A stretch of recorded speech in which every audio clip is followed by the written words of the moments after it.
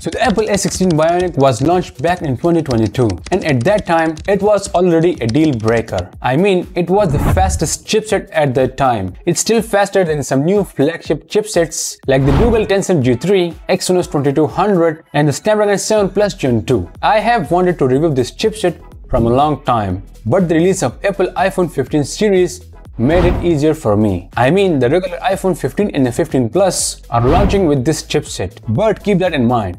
This chipset isn't as fast as the Apple A17 Pro, but it's still not bad for an $800 smartphone. So let's review this chipset and see how well it performs in 2023 with the iPhone 15 Plus.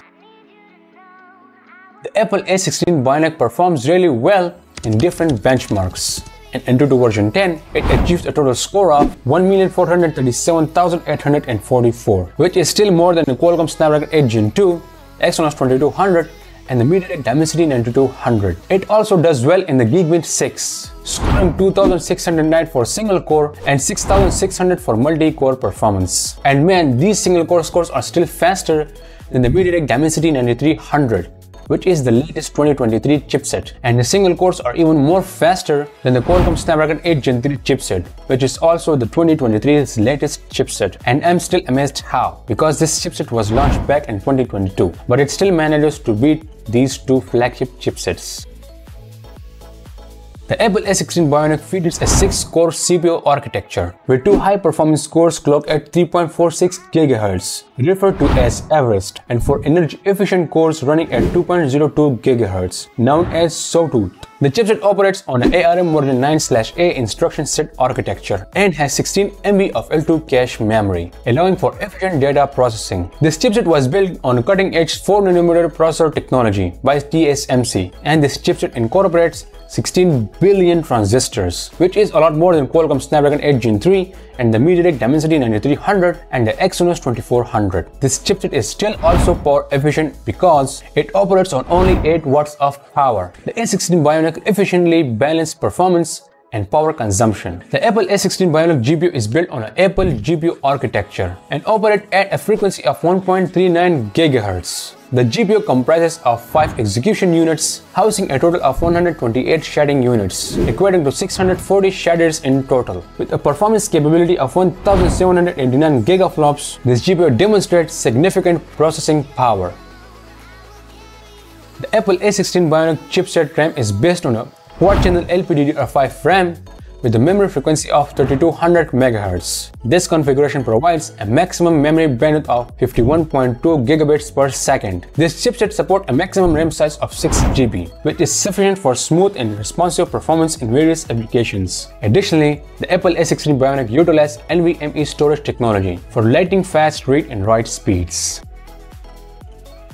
The Apple A16 Bionic boasts an impressive neural engine for AI processing. It supports a maximum display resolution of little over 2.5K with 120Hz refresh rate and this chipset supports various HDR formats like HDR, HDR10 Plus and Dolby Vision for rich and detailed viewing experience. This chipset can also support cameras of up to 48 megapixels with triple 18-bit RAW ISP for maximum output from the camera. And believe me, this chipset really did a good job in the iPhone 14 Pro series. And with the standard 15 and the 15 Plus, this chipset really impresses us by how faster and how efficient this can be. Because for the first time, it eliminates the difference between the Apple iPhone 15 Pros and the 15 standards because the 15 Plus can do as much as the 15 Pro Max. You will see that in the full review of the Apple iPhone 15 Pro Max. So for that, please stay updated by subscribing my channel. This chipset is also amazing for video captures. I mean it can record videos at 4K at 60 frames per second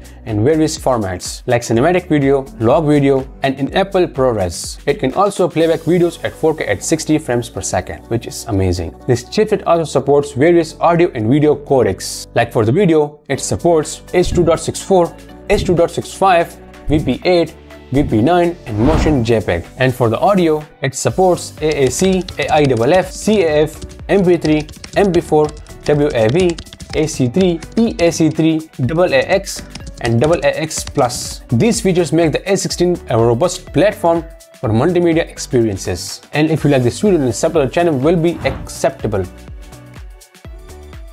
The Apple A16 Bionic features a versatile connectivity options as it supports both 5G and 4G with 4G at LTE Cat 24 with impressive download speed of up to 7.5 GB per second and upload speed of up to 3.5 GB per second ensures fast data transmission. This chipset also supports Wi-Fi 6E and the Bluetooth 5.3 for seamless device pairing and communication.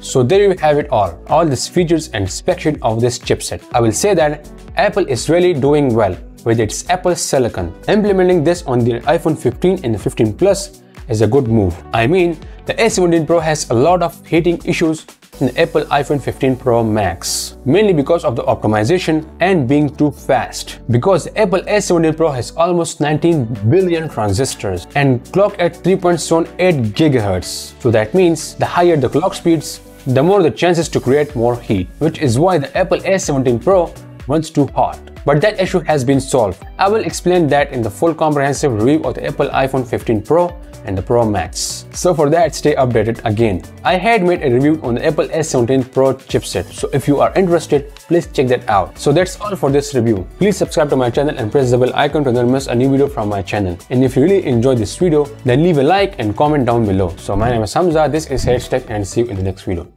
So if you want to watch the full review of the Apple A17 Pro, then that video is right here. And if you want to watch the full review of the MediaTek Dimensity 9300, then that video is right here. Thank you for watching.